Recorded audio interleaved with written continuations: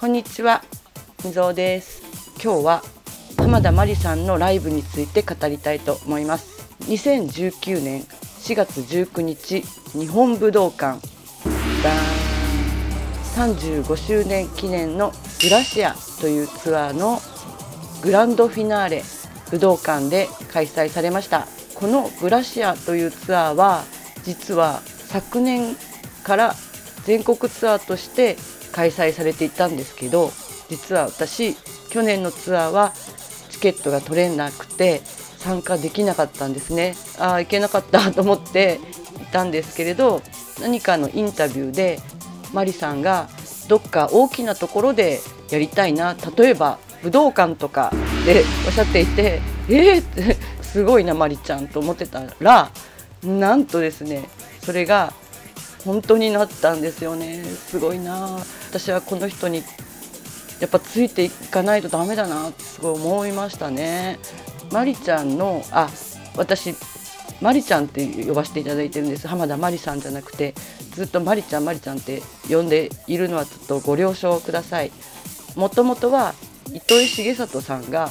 マリちゃんはヘビーメタルっていうキャッチコピーをつけていらっしゃったので私も流れでマリちゃんって呼んでいる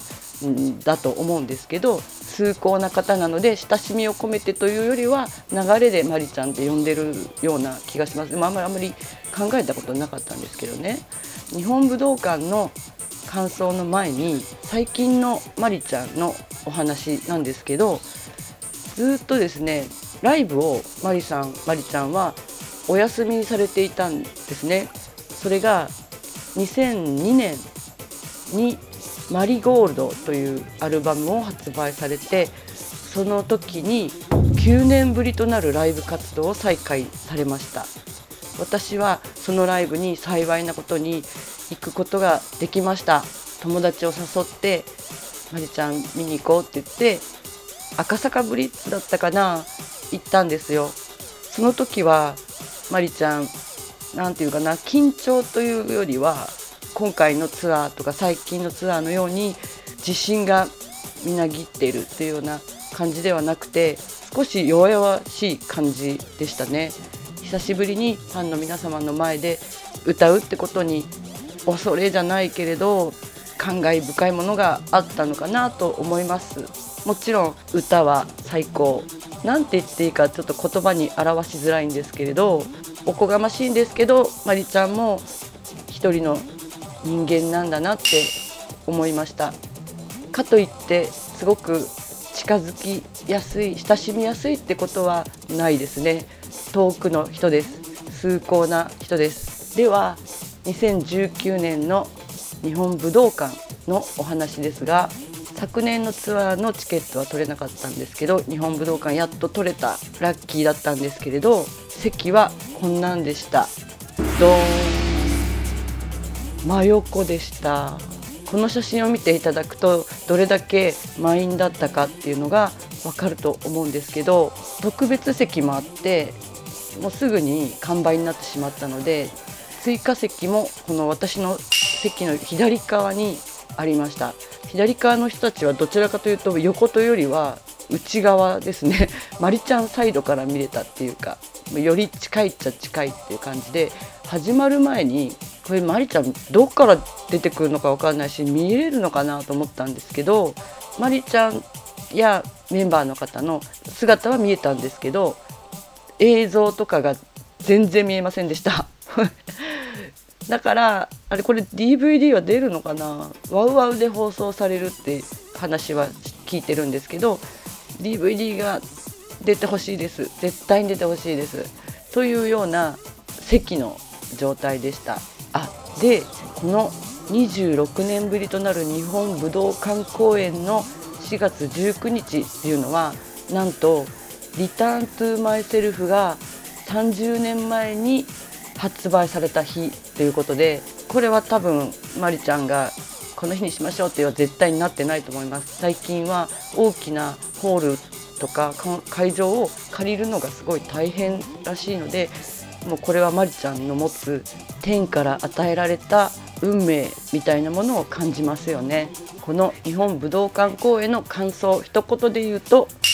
まあすごかったです。これまでマリゴールド以来ツアーは結構行ってます。全部は行けてないんですけれど1回2回ぐらい行けなかった公演もその時の事情があってありますけれどその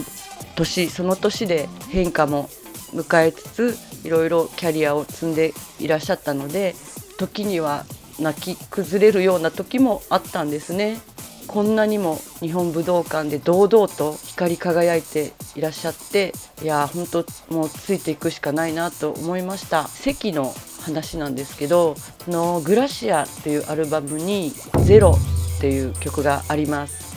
この「ゼロはですねアルバムで聴いた時にあ演歌？って思ったんですよ。本当に演歌っぽいんです。ぜひ聴いてみてください。ハードな演歌。かっこいい演歌って感じなんですけど私の席が真横だったもんでこのゼロの演出の醍醐味が見えませんでした。行った方はあああのゼロのあの演出かと蘇ってくると思うんですけれども真横の私にはその演出が